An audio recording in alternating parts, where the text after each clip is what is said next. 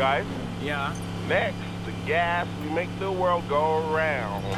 Mac, god damn it. Mac, I swear, I'll repaint your truck bubblegum pink for this. You guys have just been casserole.